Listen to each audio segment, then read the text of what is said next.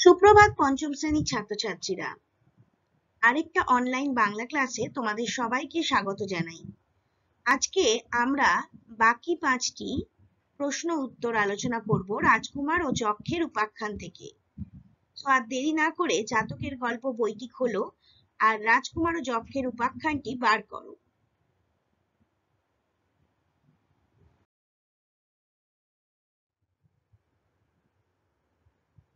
প্রথম প্রশ্ন মানে আজকের প্রথম প্রশ্ন, রাজকুমারকে গিলে খেলে যক্ষ কেন তাকে হজম করতে পারবে না? কারণ রাজকুমার ছিল খুব জ্ঞানী। রাজকুমারের মধ্যে যে জ্ঞান ছিল, যে তেজ ছিল, কারণ সে বীর পুরুষ ছিল, তো তার মধ্যে যে তেজ ছিল, যক্ষের মতো খারাপ মানুষ যারা প্রাণী হত্যা করে, তারা সেই জ্ঞান, সেই তেজ, রাজকুমারের সেই জ্ঞান, তেজ তারা হজম করতে পারবে না।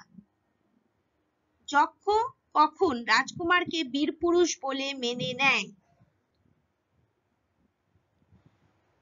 রাজকুমার যক্ষকে মারার অনেক চেষ্টা করে, অনেক তীর ছোড়ে, তলোয়ার ঘোড়ায় ঘুষি মারে, পা দিয়ে লাথিও মারে। কিন্তু যক্ষের লোম, সেই সমস্ত তীর যক্ষের লোম, লোমে সেই সমস্ত তীর আটকে যায়, তলোয়ারও আটকে যায় এবং রাজকুমারের দুটো হাত, দুটো পা, এমনকি মাথাও যক্ষের সেই লোমের সাথে আটকে যায়। তার ফলে রাজকুমারের যক্ষকে মারার চেষ্টা ব্যর্থ হয়ে যায় আর রাজকুমার যক্ষের লোমের সাথে ঝুলতে থাকে। তখন যক্ষ সহজেই তাকে খেতে যায়। সেই সময় যখন রাজকুমারের ভয় পাবার কথা যক্ষ তাকে খেতে যাচ্ছে, তখনও রাজকুমার একটুও ভয় পায় না। যখন যক্ষ রাজকুমারকে বলে,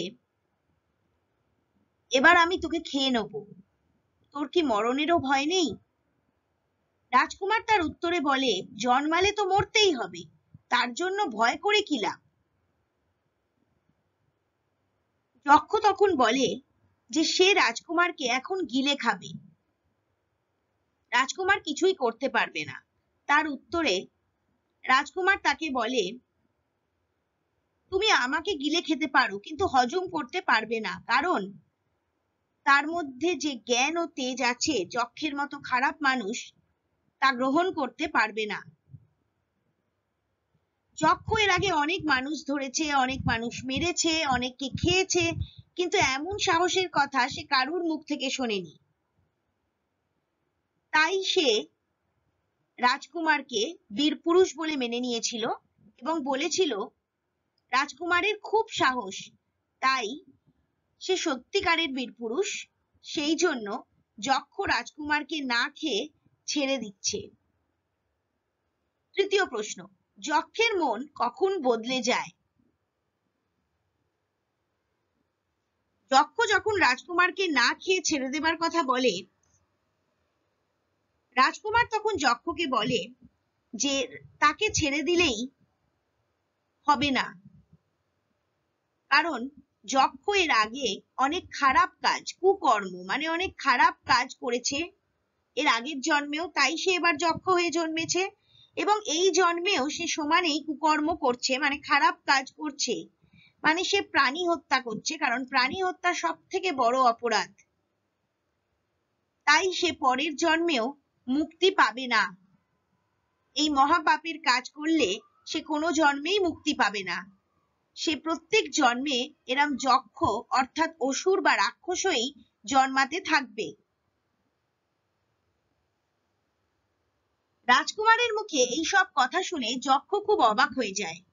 এসব কথা তার আগে কেউ তাকে বলেনি এত ভালোভাবে।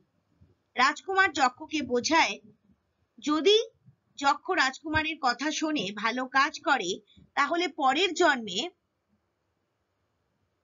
সে সাধু হয়ে জন্মাবে, অর্থাৎ ভালো মানুষ হয়ে জন্মাবে। এই রকম রাক্ষস হয়ে তাকে আর জন্মাতে হবে না। রাজকুমারের মুখে এই ভালো কথা শুনে যক্ষের মন বদলে যায়। পরবর্তী প্রশ্ন, যক্ষ কীভাবে বনের দেবতা হয়? চার নম্বর প্রশ্ন। যক্ষ জীবনে অনেক খারাপ কাজ করেছে, সে আগের জন্মে অনেক খারাপ কাজ করেছে, তাই এ জন্মে সে রাক্ষস হয়ে জন্মেছে।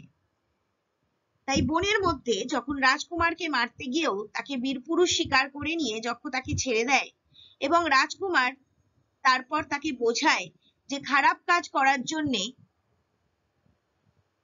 এর পরের জন্মেও সে রাক্ষস হয়েই জন্মাবে। তখন যক্ষের মন বদলে যায়। যক্ষ রাজকুমারকে বলে যে সে রাজকুমারের কথাই শুনবে, কিন্তু তাকে কি করতে হবে সেটা যেন রাজকুমার তাকে বলে দেয়।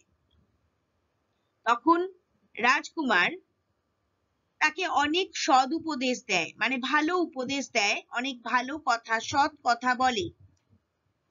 এইসব শুনে যক্ষ ভালো হয়ে যায়, তার মন বদলে যায়। সে প্রাণী হত্যা করা ছেড়ে দেয়। আগে সে বনের রাক্ষস ছিল, এখন সে হয় বনের দেবতা। এইভাবে যক্ষ রাক্ষস থেকে বনের দেবতা হয়। অর্থাৎ সে রাজকুমারের কথায়, রাজকুমারের সদুপদেশ তার সৎ বাণীতে পরিবর্তন, পরিবর্তিত হয়ে তার মন পরিবর্তন হয় এবং সে রাক্ষস থেকে বনের দেবতা হয়। শেষ প্রশ্ন, অর্থাৎ পাঁচ নম্বর প্রশ্ন, কীভাবে যক্ষ মুক্তি পেল? এই উত্তরটি দেবার আগে আমি তোমাদের বলে দিতে চাই। তোমরা দেখতে পাচ্ছ, আমি একটা রাজকুমারের ছবি দিয়েছি এবং একটি যক্ষেরও ছবি ইন্ডেক্সে দিয়ে দিয়েছি। তো চলো লাস্ট প্রশ্নের উত্তরটাও শুনে নি কীভাবে যক্ষ মুক্তি পেল? রাজকুমারের কাছ থেকে ভালো কথা শোনার পর যখন যক্ষ প্রাণী হত্যা ছেড়ে দেয়, তখন সে ভালো কাজ করতে শুরু করে। আগে সে বনের রাক্ষস ছিল, তারপর সে বনের দেবতা হয়। সৎ অর্থাৎ ভালো কাজ করার জন্য পরের জন্মে যক্ষ এক ব্রাহ্মণের ছেলে হয়ে জন্মায় এবং সাধনা করে মুক্তি পেয়ে যায়। সুতরাং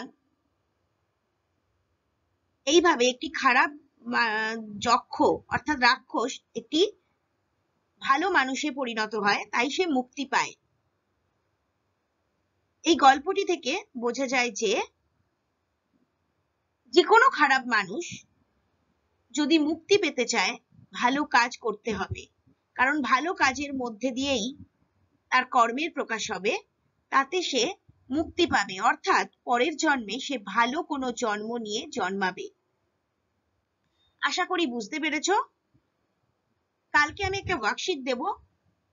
রাজকুমার ও যক্ষের উপাখ্যানের ওপর সেটাও করবে আর এই প্রশ্ন উত্তরগুলো লিখবে।